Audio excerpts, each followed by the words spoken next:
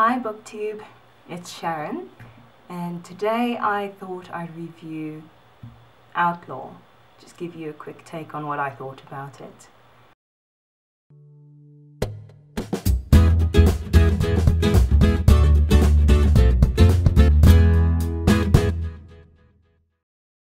Outlaw is by Ted Dekker, and it's about a woman named Julian who decides after having this really interesting dream that's you know completely vivid to her that she's going to go into the jungle and become a missionary basically. There's obviously more story to it than that because it was enough to keep me reading the whole entire book. Uh, but at first i thought i wasn't going to be that interested. I actually skipped it and read two others that are in the chronicle you know the outlaw chronicle. There's four books so far. Outlaw water walker Eyes Wide Open and um, Hacker. I didn't think that Outlaw was going to be that interesting because it was in the jungle and it was, I don't know, I didn't think so. But after reading Eyes Wide Open and Water Walker, I was curious about the character Stephen who appears in those books. He was very mysterious to me, and I knew that Outlaw was about him.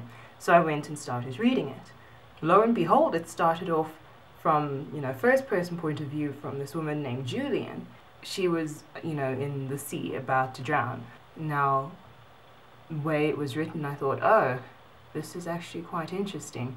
You know, and suspending my belief of how she's writing this if she's in the sea, I just carried on with it. And it actually turned out really interesting throughout the book. There was a lot of different situations. You know, goes through her being uh, in a hostage situation and um, being captured to having to adapt to the different cultures of the tribe that captures her um, to, and her son at that point is two years old. But then halfway through the book it transitions to him. After she's gone through a whole lot to try and get her son back and keep her son alive. Thing is they get separated. And um,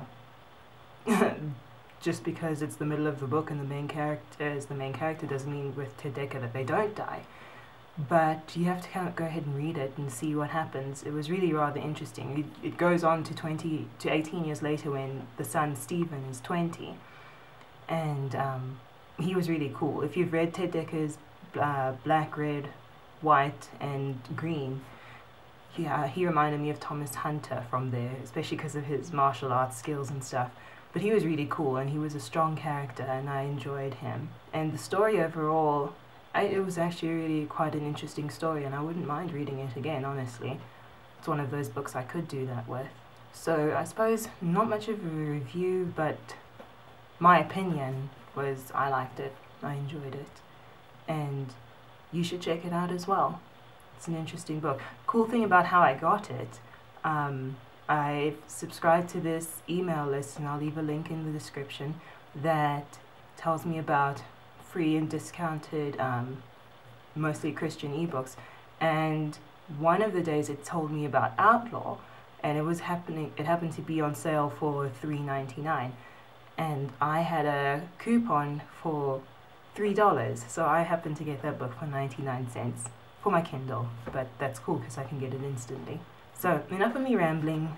I, in short, liked Outlaw, and I will see you again next time. Bye. Oh, P.S.